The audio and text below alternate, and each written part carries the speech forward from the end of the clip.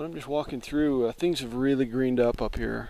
The uh, leaves on all the trees are coming in. Uh, these, this one is a maple, I believe.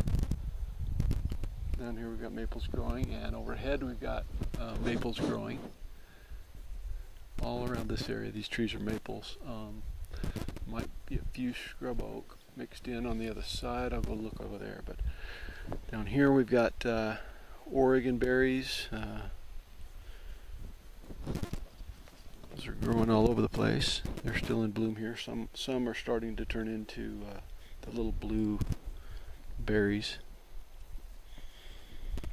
I'm not sure what this plant here is. I, it's beautiful.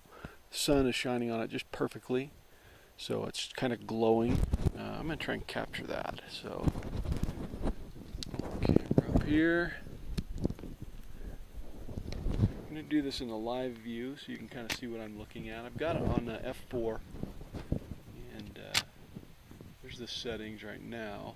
I need to lighten it up. So I'm going to look here. The meter's clear down here, minus 3. So I'm going to scroll up at a slower shutter speed. Put it right on the zero on my meter right there. And then I'm going to turn on the live view and look at it. That looks okay. Autofocus. I'm going to lighten it just a little maybe. And as I lighten that, I'm going to get out the bottom of the trees in the trunk. Tree trunks there. Take that photo.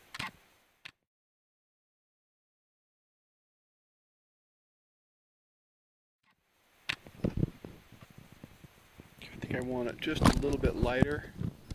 So I'll click up twice. Now we're shooting at 4.0 uh, ISO 100 1 13th of a second.